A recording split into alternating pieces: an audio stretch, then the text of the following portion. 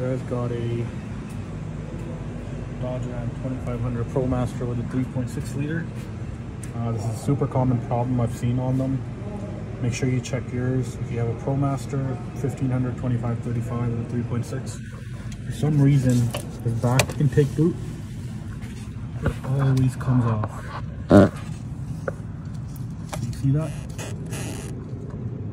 We have about 10 of these in our fleet and every single one of them had this boot just sitting back here.